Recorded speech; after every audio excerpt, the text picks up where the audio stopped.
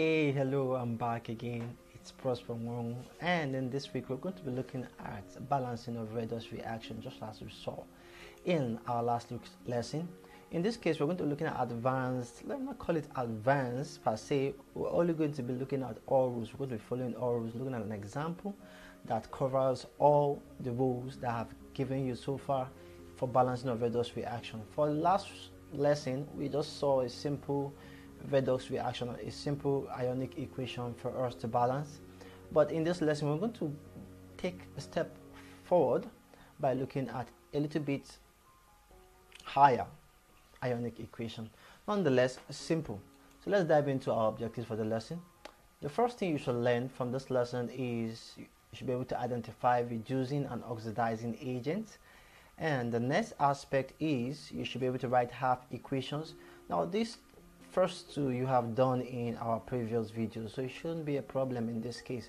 So you should be able to identify reducing and oxidizing agent next you should be able to write half equations the half equations equations i'm referring to is oxidation half equation and reduction half equation. And lastly you should be able to balance redox equation and that is our pick for the lesson. We'll be looking at balancing of redox equations or reactions or ionic equations whatever we want to call it, they're all the same. Let's dive in. Firstly, I think you need to remember those rules. If you can't remember, just give yourself a test right now. Pause the video and try to see if you can remember the rules to balancing of redox reaction. Alright, nonetheless, if you can't remember it, we're looking at, we're going to take the rules again. We're going to look at the rules one after the other. So let us balance an equation. To do so, we need steps to balancing an equation. The first aspect that you should consider is step one, you should write half equations. And remember, do not forget the addition of water, hydrogen, ion, and electron. These are all you could add to a redox reaction, whether the oxidation half reaction or the reduction half reaction. So you could either add water, of course it follows you add water, you add hydrogen, ion, and electron. Let's see how that happens. So the first step is you write the half equation. Step two is to balance elements in the equation other than oxygen and hydrogen. So if you see any other any elements in the equation other than oxygen and hydrogen, just try to make sure that they are of the same number uh, on both sides. For instance, if we're seeing chromium to be 2 on one side, you should make sure that it is also 2 on the other side. Apart from oxygen and hydrogen, you leave oxygen and hydrogen out of it. So the next aspect we're looking at is we balance oxygen by adding water. If you have oxygen on one side, let's say you have three oxygen on one side, you try to make it the same by adding water on the other side to balance it out. So if you have three oxygen, you're adding an equal amount of water. Let's say three water also, three oxygen, add three water on the other side of the equation. So the next aspect is balance hydrogen atoms, including, okay, those balance hydrogen atoms.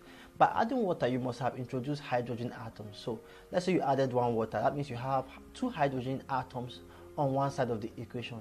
Make sure to add hydrogen ions on the other side. Since you have two hydrogen ion on one side, you add two hydrogen ion on the other side of the equation to make sure they are balanced. And the fifth one is add up the charges on each side, make them equal by adding enough electrons. So that means that from step 3, so you should remember this, that's from step 3 to step 5 is just water, hydrogen and electron. So the first one is write the half equation, second one is balance other elements other than oxygen and hydrogen. So from number 3 to number 5 we have the addition of water, hydrogen, ion and electron respectively. So number 6 you make sure that charge on both sides of the equation is the same. Like simultaneous equation, I hope you still remember your simultaneous equation. Now when you want to eliminate a particular variable in a particular in two given equations, you multiply by numbers to make sure that they are the same so you can just easily subtract or cancel out as the case may be. Exactly, that is exactly what you'll be doing in regards to redox reaction. No difference. So the last aspect is the half equations are added together, cancelling out the electrons to form one balanced equation. common terms will also be cancelled out. So this is just simple as cancelled out. If you the electrons that has formed when that you formed um, created by multiplying on both sides they become equal, you make sure you cancel them out. And then if you have water, excess water, let's say you have water on one side and you have water on, on the other side, let's say 7 to 1, you cancel out 1 and cancel out 1 from the also from the 7 aspects. To give you 6 is to 0 because the 7 seem to be excess in, in the sense that you can actually cancel out water on one side and leaving you with 6 so it's like an excess. So that's what we're going to be doing balancing of redox reaction. These are the steps to balancing redox reaction. They're not difficult and really after a while you don't get to have to remember or memorize these steps to balance the redox reaction. It just come naturally to you. You just flow like a guru. All right. So let's balance this equation. Wow, a wonderful equation. It is looking a bit complex than the one I gave you in our last video, but it is not different. It is not something far-fetched. It's not something that we couldn't solve. So let's do it. All right. So what is our first step? Do you remember first step? Tell me. What's our first step? Our first step is to write half equation. So what you need to do is to identify the half equation. Let's say you have this equation. The first thing you tell yourself, okay, what is the oxidation half and what is the reduction half? So on this side you see chromium is losing oxygen. At least we could start with oxygen. It's losing oxygen to give us uh, this compound. I said chromium. No, not chromium. This ion, the chromate ion, is losing oxygen to give us chromium here, chromium ion over here. So it means that loss of oxygen is reduction. That means that from this to this is the reduction half equation, while from this to this is the oxidation half equation. So as simple as that. It's really that basic. So this is the oxidation half. So let's write, let's see. So the steps, separate the half equations. So we have here chromium, this becoming this and this becoming this. In your own, for your own write-up, I would wish that you write reduction half here or take the reduction half to the top. Whatever the case, make sure you write, you, you, label it, having the reduction half, you write a reduction half and oxidation half, just like I taught you in our previous video. I had to save space and eliminated that.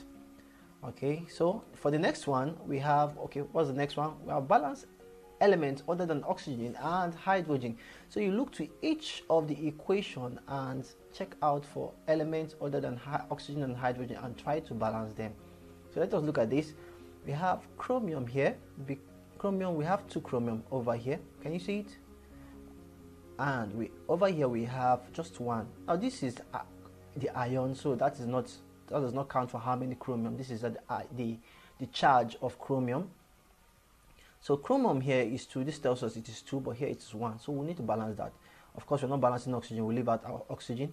So in this case, we have hydrogen here. We're not balancing hydrogen, nitrogen. So we're looking out for nitrogen. Nitrogen is 1 over here, and it is 1 over here. So, oof, that's less work for us. We don't have to balance nitrogen. So we're only left with chromium to balance. So let's see how we go about that. And here we go. So we're balancing chromium by adding 2. Note that chromium is 2 here, now chromium is now 2 here. Compare it with what we have over here. Why the next equation remains the same? Have we gone that far? Pause the video and take a look again. I think we've gone that far. Let's continue. Not so difficult. Alright, so remember step 3 we add water to balance oxygen add water to balance oxygen. Now, here it's where it gets interesting. So oxygen here is 7. So what did I tell you? Since oxygen is 7, you add the same amount of water on the other side. Now over here, oxygen is 3. We have one oxygen, two oxygen atoms over here. It means you need to add one water over the side to give us, to balance it out. So it's as simple as that to balance it out. Oxygen 7 here you add 7 over here 7 water. So over here we have three oxygen atoms and over here we have two oxygen atoms. It means here is deficient of one. So we add one water. Let's see about that. So voila we have seven water added to this side and one water added to this side. I do hope you understand that aspect. Alright, so the next step, remember our next step, can you tell me the next step? you don't remember? Alright, the next step, the next step is we add balanced hydrogen atoms by adding hydrogen ion. So let's see, you can read the write-up I will be doing the explaining. You can pause the video at any point and then read the write-up. It gives you a better insight to these things. Okay, so oh, so we're adding, adding hydrogen ion. Notice that here we have seven water. It means that over here, it means seven water, yes, water molecules, and the hydrogen ion is two times seven, giving you 14. So you add this, the equivalent of in, in terms of hydrogen ion over the other side of the equation. And here you count the hydrogen ion. We have one here we have we have three here and then here we have nothing. So three you have to add equivalent three ion. Simple right? It's simple. It's really simple. It's really that simple yes it's as simple as that. So let's go to the next aspect. Step we balance the charge. Now let us calculate. Before i show the equation for this aspect i want us to calculate the charges we have here. Let me show you how to calculate. So follow me. Ah, so lean forward, lean forward. Let's come together, lean forward. So we have here 14, 14, that's plus 14. See this 14 plus the charge over here?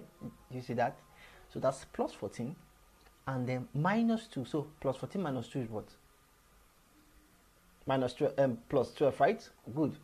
So on this side, we have 2 times 3, which is 6 plus 6 and then we have 0 on this side. So we have plus 6 and plus 12. So what do we do? We need to add electron. Adding electron is like subtraction. In other words, where do you need to subtract to give you an equivalent or make it equal on both sides? We have 12 plus 12 and we have plus 3 plus 6. So we need to subtract from the 12 how many how many electrons do we need to subtract? Let's say we are subtracting six electrons. I'm using the word subtract, but in real it is addition. You say plus six. I'm using the word subtract so you understand it better. So you add the electron, or let's say you subtract the amount of electron, but you don't write minus. You use plus six electron to 12 to this aspect.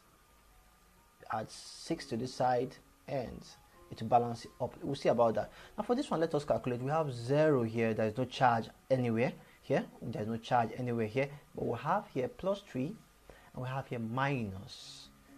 Minus. That's just minus 1. So plus 3 minus 1 is plus 2. So where do we need to subtract? We need to subtract from this, this side.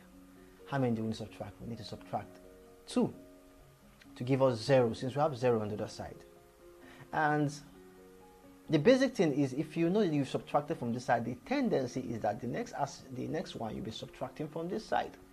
If you've done subtraction for this side, as you have added electron in the regards to this equation over here on the reactant side, the tendency is for the next one it will be on the product side. So let's see how we've done so far. And we have it correct. We have six electron being added to this side. And for the next one, finger crossed, oh we didn't i didn't include that. Okay for the next one we are to add two electrons on this side please. So note this. So for the other reaction there is no charge. Okay i i i, I, did, I included it. Is just I, I i had to break it down so that will better understand it. So you can read these write-ups. They are for you for your understanding so do not hesitate to read them up so for the next one voila and we are correct yes so that's step five we're done with step five Let's move on to the next. So continuation. So step six. Step six is we scale the reaction so that oh, what do we do? We just make sure simultaneously remember our simultaneous equation. You can read that for yourself if you want. Simultaneous equation, you know we have six electrons for the first one and we have two electrons for the second one. So simultaneous equation, hmm, what do we need to do to make sure the electrons are the same? it tells me I'm going to multiply the second one by 3, right? And the first one by 1. Multiply all through by 3 for the second one. So the electron becomes 6, while the other one remains the same. The first equation remains the same. Are we good? So let's see about that. and voila we're multiplying the first one by 3 to make sure that they are all the same. They are all the same. We're multiplying all two by 3 make sure they're all the same. And so it becomes this. Note that 3 multiplies everything. It multiplies this it multiplies this it multiplies this it multiplies this and it multiplies this. So it becomes this. Now sorry i didn't mention it earlier if you need to have a book by your side so you can write this down by yourself you follow the steps you can go back back in into the video and back in the video and try to write down the steps and follow us up follow it up. To better help you to to help you understand better. And so this remains the same because we're multiplying by one so there's no need to show that.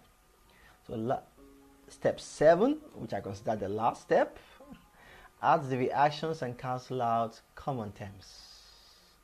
And here we go. So we're adding these plus look at our plus sign over here. You don't need to write the plus sign. Just writing it next to just writing next to together is sufficient. So we have this and our final equation is worth now I, I left out a step not really a step but an explanation now the explanation I left out I started cancelling we are told that to add the reactions and cancel out common terms I cancelled out common terms right from this point um, if, if you want you could just write the sum of sum of everything before you cancel out. Now let's also explain that aspect that I cancelled out. At the end of the day, this two becomes the reactant side and this one's become the product side. So let us see. There is three water here and there's seven water here. So I need to cancel out three out of this and here disappears.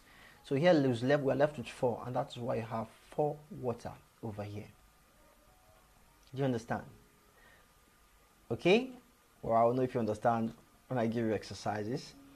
And for the electron, we have 6 on the product side. Remember, you could just add everything like this reactant, reactant is equal to product, product, add up all the product. And that would solve it.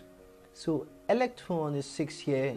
On the other side, we have 6 electrons, so they cancel out. What else could we cancel out? Hydrogen ion. We have hydrogen ion on the reactant, on the product side. Over here, do we have hydrogen ion? Yes, we have hydrogen ion, 14 hydrogen ion. It means that I will need to remove 9 from that, leaving us with 5 hydrogen ion. And voila, we have 5 hydrogen ion. So that's what it means to cancel out common terms. So if you have any excess of common terms, when I mean common terms, terms you in introduce such as water, hydrogen ion, and electron, of course, electron must go. And every other one must go to have a balanced equation. That is the final step. So I think that's all we could take and every other balance of redox reaction in regards to the secondary school level follows the same procedure. Now we've looked at all the steps, we've, we've applied all steps. You'll be happy, I'll be giving you exercise to try out so to better help me know if you've understood everything I have taught so far. Now pause the video at any point if you don't understand any aspect and ask questions when necessary in the Google Classroom. So for your consumption, we have these equations. You could choose anyone. You don't have to submit it. Just practice on your own. I'll be giving you an assignment in the Google Classroom, so you don't have to worry about this one. I may pick one of them. I may pick all of them to give it in the Google Classroom. So just work any of these. You can pick one out and practice for yourself to see how well you've done so far. So uh, you, ex you expect your assignment in the Google Classroom and your classwork in the Google Classroom. I think that's all we can take for today. I do hope that it was a wonderful time for me. I enjoyed every aspect of it. So, thank you for watching. Stay safe and observe social distancing.